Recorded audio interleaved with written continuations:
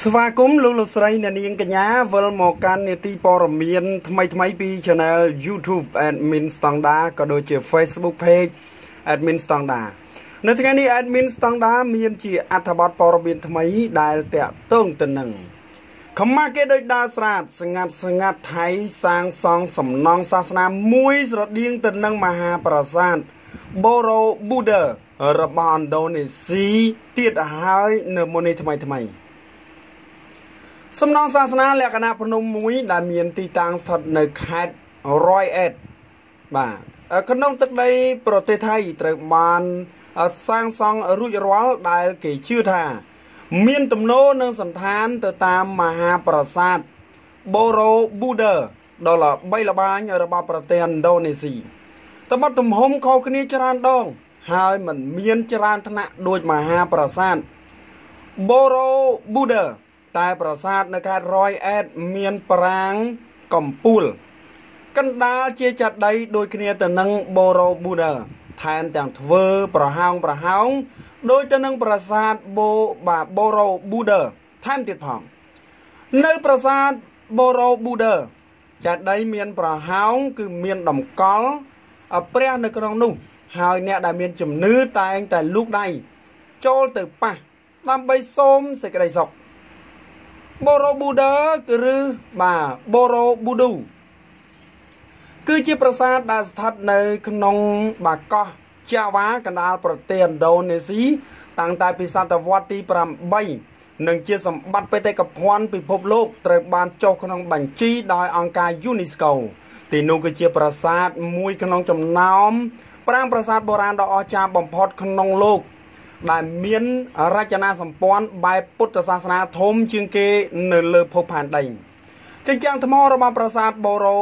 ប៊ូដឺត្រូវបានតុបតែង ជាមួយនឹងចម្លាក់ដ៏ប្រណិត មានទំហំសរុបគ្របដណ្ដប់រហូតដល់ទៅ2520ម៉ែត្រការ៉េនោះហើយមានរូបចម្លាក់ព្រះពុទ្ធ72ព្រះអង្គអត់ទៀតផងបាទ អញ្ចឹងប្រិយមិត្តទាំងអស់គ្នាបន្ទាប់ពី មានការល្បីល្បាញចម្លង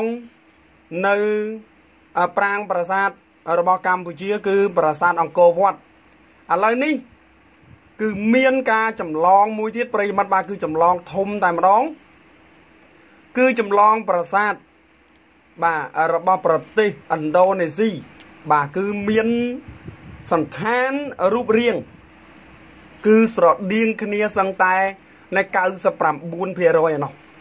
បាទ99%ឯណោះអញ្ចឹងមកដល់ពេលនេះឃើញថាមិនដឹងថាខាងឥណ្ឌូនេស៊ីគេចេញប្រតិកម្មអត់ទេតែឃើញថាមានសារព័ត៌មានធំធំហ្នឹង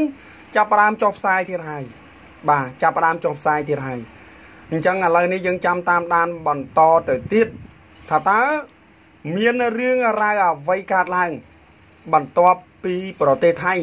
បានសាងសង់ប្រាសាទមួយ ដែលមានសន្តាននិងរូបរាងដូចទៅនឹងប្រាសាទបាទបូរ៉ូប៊ូដារបស់ប្រទេសឥណ្ឌូនេស៊ីប្រិយមិត្តបាទប្រិយមិត្តតកតងទៅនឹងរឿងរ៉ាវប្រហែលថ្ងៃកន្លងផុតទៅណាឃើញថាកាន់តែក្តៅទៅក្តៅទៅ រវាងកម្ពុជាជាមួយនឹងថៃតកតងទៅនឹងការ ប្រទុសរាយរឿងចម្លងរចនាបថដ៏អស្ចារ្យគឺប្រាសាទអង្គរវត្តបាទគឺប្រាសាទអង្គរវត្តអញ្ចឹងប្រិយមិត្តទាំងអស់គ្នាយើងចាំតាមដាន បាទបន្តទៅទៀតតកតងទៅនឹងបាទសាច់រឿងនេះហើយបើលើកទៅលើលួត្រូវខុសដោយប្រការណាមួយក៏បាទសូមខន្តីអភ័យទោសផងដោយសារតែមករយៈនេះ admin ស្តង់ដាគឺមិនសូវបាន បាទធ្វើជាវីដេអូនៃការចេញជាព័ត៌មានថ្មីថ្មីប្រហែលទេបាទប្រហែលទេអញ្ចឹងតកតងទៅនឹងរឿងរ៉ាវនេះប្រិមត្តបាទក៏សូមបិទបញ្ចប់ជាចុងក្រោយ admin standard សូមជម្រាបលាបាទ